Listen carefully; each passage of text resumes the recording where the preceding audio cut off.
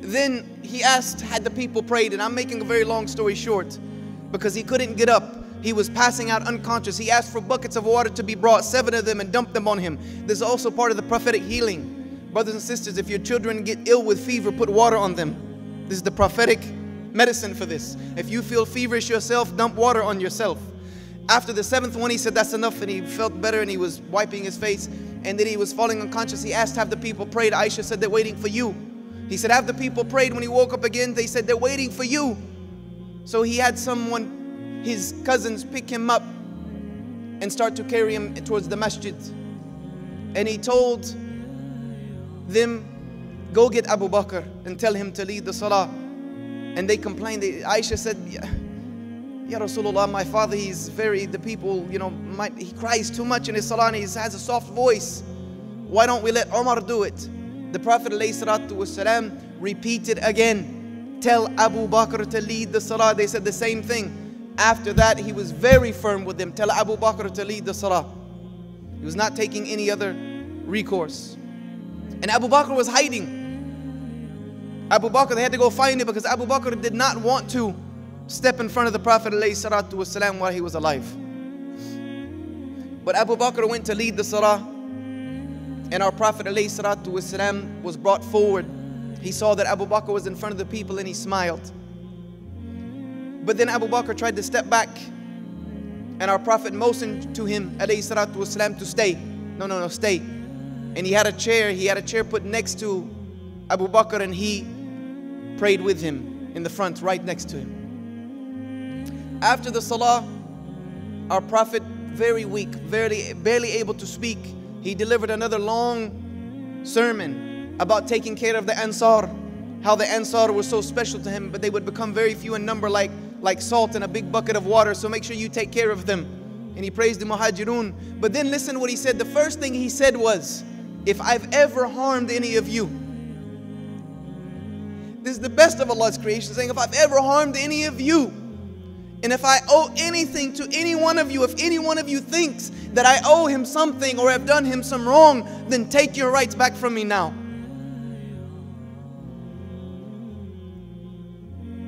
One man said, You owe me a few dinar, and the Prophet said, Give it to him. Another man stood up and said, Oh Messenger of Allah, one day you slapped me in the stomach. When the Prophet ﷺ was straightening the rows for Salah, he tapped the man in the stomach. His stomach was too far out. He was either, you know, telling him to push it back or go on a diet. So he tapped his stomach lightly. But the man is saying, You smacked my stomach, I want my right.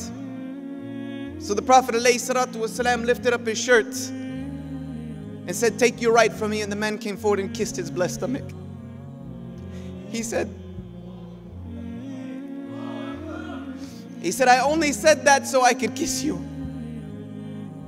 And then the Prophet ﷺ said, A man has been given a choice between staying in this world or going to be with Allah, and he has chosen to go be with Allah.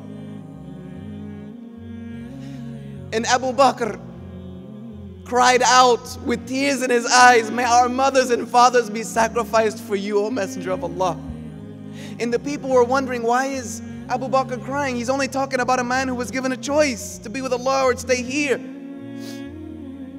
And then the people started to realize the Prophet ﷺ was talking about himself. So the Prophet ﷺ went back to the room with Aisha. He became even more sick. Sometime a couple of days had passed, he became sick. I don't want to get through this, I'm running out of time. But on Monday, on a Monday,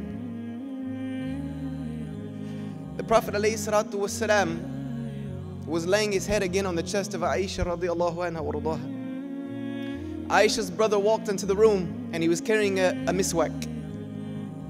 And the Prophet Aisha understood her husband because he was looking at the siwak. She understood her husband. She asked him, O Messenger of Allah, do you want it? And he motioned, yes, I want it. So she took the miswak and she brushed his teeth. He brushed his teeth the best that he could.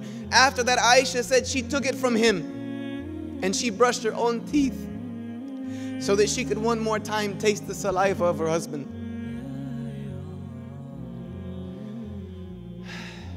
Then the angel of death, this is something we're not privy to, Aisha wasn't privy to, but when the angel of death comes to you or I, when the angel of death presents himself to you or I, it's a one sided conversation. Soul come out. Either blessed soul come out easy, khabith soul is going to be ripped out, but one way or the other, that soul is coming out. There is no there's no conversation that takes place. You might say, Rabbi yarji'un, my Lord, send me back. But it's not going to happen. The soul's coming out. But with the Anbiya, there's a different modus operandus that the angel of death abides by. He needs to take permission. This is the respect that Allah gave to the Anbiya that even the angel of death needs to seek permission. And the Prophet ﷺ said before dying, all of the Anbiya were shown their places in Jannah. They were shown their final resting place. The angel of death came and took permission from the Prophet ﷺ, giving them the choice. Aisha radiallahu anha waradaha said she heard the Prophet ﷺ say, Bila Rafiq al-Ala, be with the companion on Most High. Be with the companion on Most High. Be with the companion on Most High. She said, then she started him looking up at the ceiling as the Prophet said, the eyes follow the soul.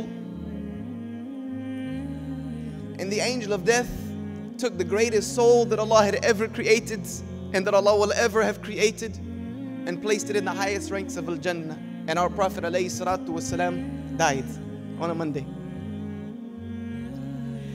And Aisha said she felt him get heavier and heavier on her chest until she realized he was gone. And she couldn't handle it. She couldn't take it. She couldn't handle it. She laid him down and she covered him with a, with a very simple Yemeni cloth.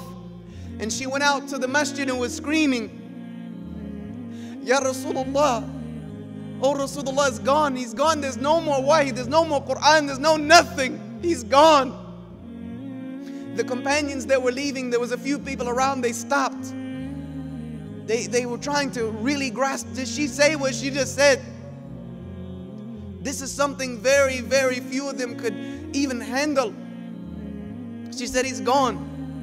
When that word was given to Umar, when Umar was told Muhammad is dead, Umar, this is the same man. You have to understand, this is the same man that two decades ago, this same man had a sword in his hand on his way to the house of Muhammad وسلم, ready to kill him, to end the message, to end the man, to end Islam, to end the Muslims.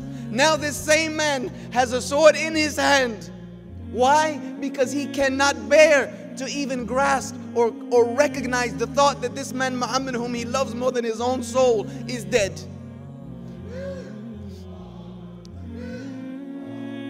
And he is saying, whoever says Muhammad is dead, you're a hypocrite and I will cut your neck. Uthman said his legs got weak and they couldn't hold him up anymore. He fell down. Abu Bakr, who was a distance away, he had taken permission because the day before the Prophet seemed if he was getting better on Sunday. He took permission to leave for a little while. The news was given to him that Muhammad is dead. He immediately dropped everything and he ran to the house of Aisha radiallahu anha, his daughter.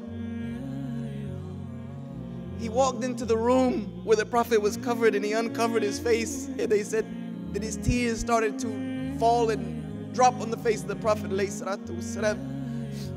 And he said, You are beautiful in life and you are beautiful in death.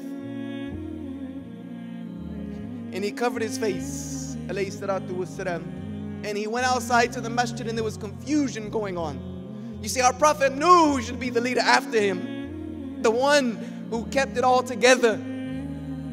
Abu Bakr radiallahu an stood up on the minbar of the Prophet salatu wasalam and he said, Ayyuhan nas, O people, whosoever worshipped Muhammad, know that Muhammad is dead.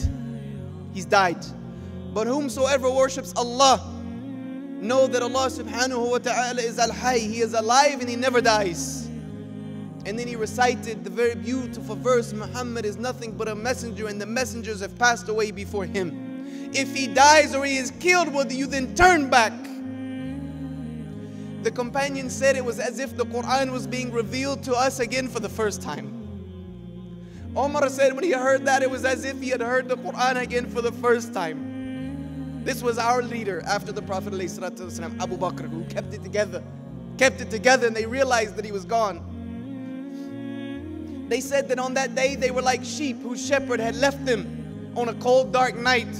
They didn't know what they were supposed to do next.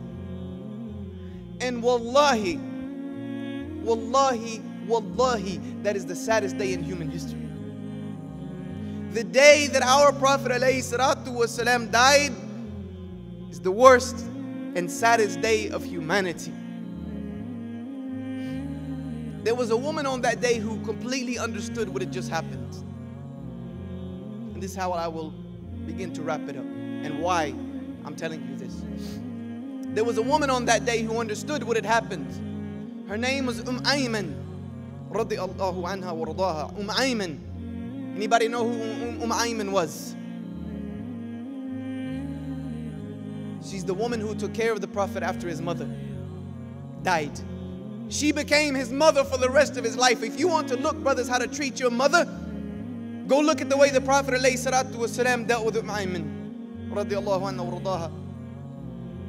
She was his mother after his mother. Whenever he walked into, she walked into the room, he would jump up, give her his spot, give her the attention a mother deserves.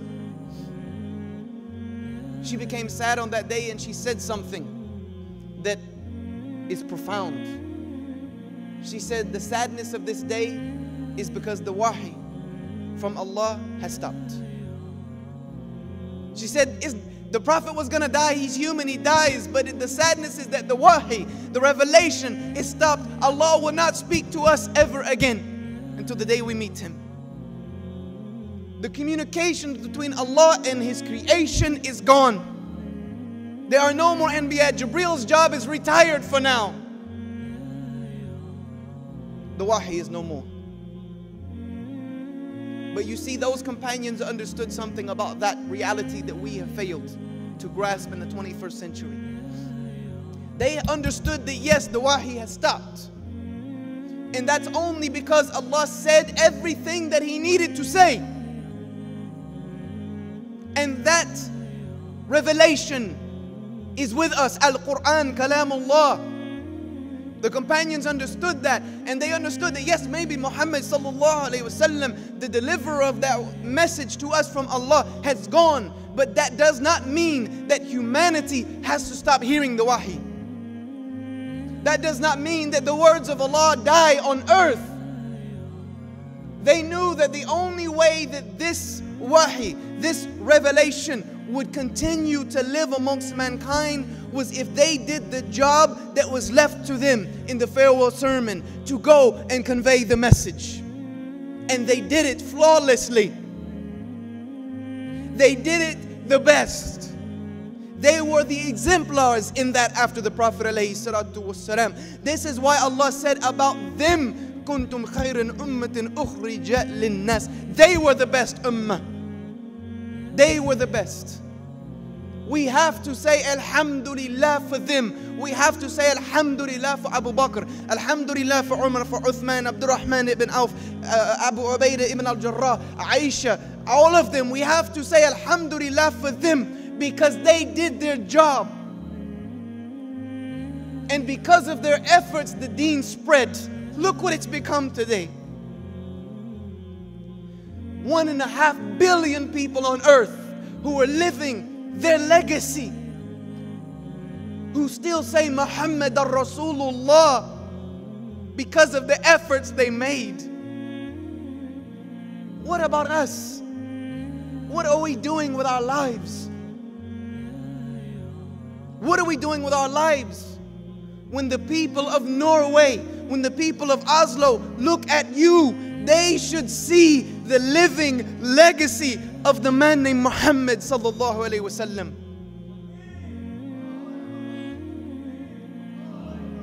When the people of the world look at this ummah, they should be seeing the ummah of Muhammad. They should be seeing the legacy of Abu Bakr. They should be seeing the legacy of, uh, of, of, uh, of, of Uthman. They should be seeing the legacy of Aisha radiallahu anha. They should be seeing the legacy of Fatima anha. They should be seeing the legacy of these people in us. We have a chance now. Allah has given us the spotlight. I remember there was a time, Sheikh Haytham probably remembers, I know Imam Siraj remembers when there was a time we begged for media coverage about Islam. We begged for them to look at us. We begged for them to pay us attention. Yes or no, Imam? We begged for it. Now we have their undivided attention. We have the world's undivided attention. They want to know what you are doing. They want to know what you are saying. They want to know what you're eating. They want to know where you're sleeping. They want to know everything about you, and we act as if that's a bad thing. Wallahi, it's a ni'mah from Allah that they want this. Let them look. I've told the government agencies in America, put a camera in my house. I don't care. Tap my phone. I don't care. I want you to see me. This is why I do what I do. I want you to see me. I want you to see what I have. I have a message from the creator of all things delivered to me by the greatest human being to ever walk the face of this earth and carried out through history through the greatest human beings that have ever walked this planet. I have a message for you. So look, listen, please. We have that opportunity now, brothers and sisters, that the world wants to know what you have. Give it to them. Give it to them. Allow them to see it in your life. Stop walking around with your head held down. Stop frowning. Stop being sad. You have Islam. You have something that will make you everything. I finish with this. Every time I have to go on a trip and I'm gone for many days, my, my three children ask me why I have to go so much. My 10 year old son asked me, Dad, why, do, why are you not here to put me to bed at night? Why are you not here to take me to school in the morning? My daughter, my smallest, who is the apple of her father's eye, cries. Cry, wallah, he cries every time I kiss her goodbye and I'm leaving. It breaks my heart. And I tell them that I'm doing this.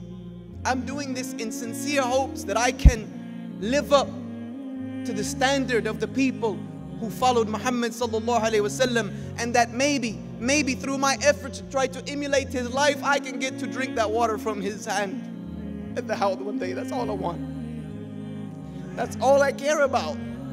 That's why I do it. You think this is easy traveling? Is it easy, Imam? No, it's not easy. This is rough. It's a rough life. Wallahi. If it were being paid by per hour, wouldn't be worth enough. You go begging the streets for better. But we do it because we care. There's a concern right here that I want to live up to the standard of the man whom I say I follow. I want to live up to that. And I tell my children every day, even if I don't come back, even if I don't make it back from this trip, if you grow up with Islam in your heart, to me, you will have made me the proudest father. I don't care if you end up homeless. I don't care if you end up poor. I don't care if you end up eating out of trash cans. I don't care if you're sleeping on park benches. I don't care what else you become in this life. I don't care. If you die with that Islam deep in your heart and the last words out of your mouth are La ilaha illallah Muhammad Rasulullah, I'll be happy. But if you leave this Islam, I've told my 10 year old, you understand, if you leave this Islam, I don't care if you become a rocket scientist. I don't care if you go to Mars. I don't care if you become the president. I don't care if you become a billionaire. I don't care what the world thinks you are. To me, you failed. You failed and you have nothing. Because with your Islam, you have everything, even if you have nothing else. Without Islam, you are and you have nothing. I don't care if the world is at your feet. جزاك الله خيرا بارك الله فيكم والسلام عليكم ورحمة الله